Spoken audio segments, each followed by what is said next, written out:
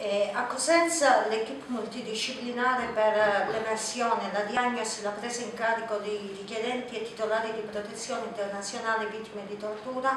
è nata in seguito all'incontro con alcuni operatori del CHAP di Parma e alcuni medici dell'Associazione Medici contro la Tortura eh, di Roma. L'equipe è nata nel 2012 ed opera sulla base di un protocollo d'intesa promosso dall'associazione La Casba in collaborazione con l'ambulatorio medico senza confini dell'Auser di Cosenza eh, con la Regione Calabria e con l'ASP. Dell'equipe fanno parte psicologi, psichiatri, eh, un medico legale, un ortopedico, un radiologo, una ginecologa e alcune operatrici dell'accoglienza dell'associazione La Casba. Compito dell'equipe è la predisposizione degli incontri volti a favorire l'emersione del trauma, l'invio ai servizi specialistici e la predisposizione di,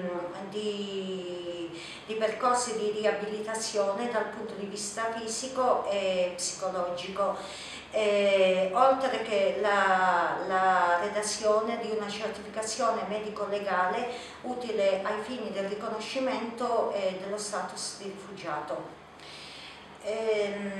numerosi studi, eh, in primis quello effettuato dall'Associazione Medici contro la Tortura, dimostrano che oltre il 40% dei richiedenti asilo e dei rifugiati politici presenti in Italia hanno subito una qualche forma di tortura nei paesi di origine o nei paesi di transito. Molti quelli che eh, arrivano in Italia dopo essere passati dalla Libia e in uh, Libia eh, vengono spesso incarcerati e il carcere in Libia significa tortura sistematica.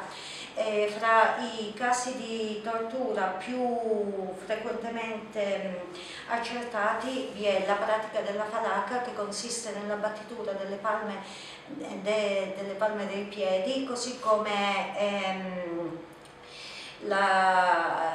tortura che viene praticata con gli elettrodi oppure le torture da percosse eh, o la tortura da sospensione che consiste nell'essere legati a una, trave, a una trave di legno o di ferro eh, attraverso gli arti superiori o inferiori.